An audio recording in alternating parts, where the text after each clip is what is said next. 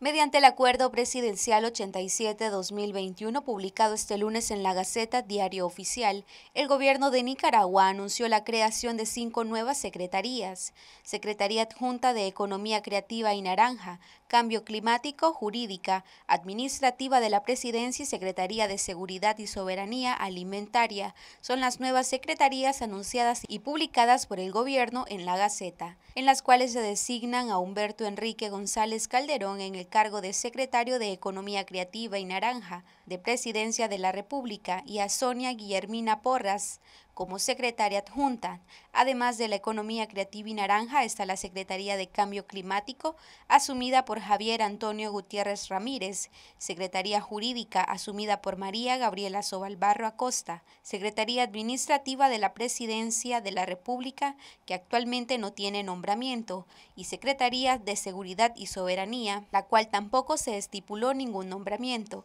Hasta el cierre de esta edición se desconoce quiénes estarían al frente de estas nuevas